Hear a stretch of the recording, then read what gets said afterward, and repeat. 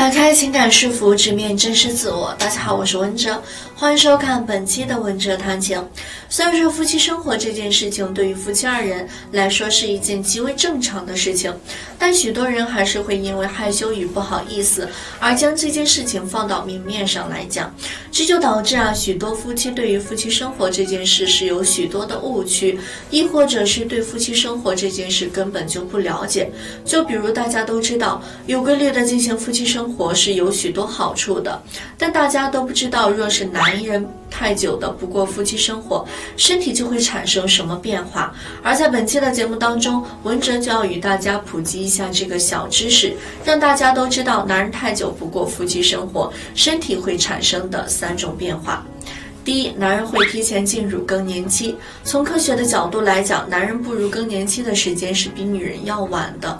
但若是男人长期不过夫妻生活的话，男人就会提前进入更年期。这是因为男人若是长期不过夫妻生活的话，其自身的雄性激素的分泌就会进入一个相对缓慢或者是停滞的状态。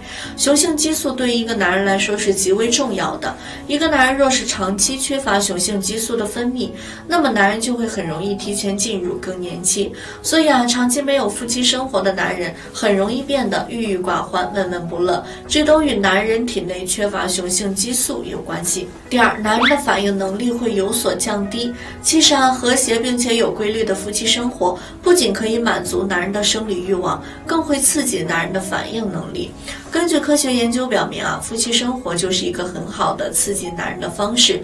所以，男人若是长时间没有夫妻生活，身体反应能力就会下降，身体也会变得比较迟钝。因此，男人应该适当的进行夫妻生活，避免身体过早的进入迟钝的状态。第三，男人的脾气会变得暴躁。众所周知啊，有规律的夫妻生活可以调节人的情绪。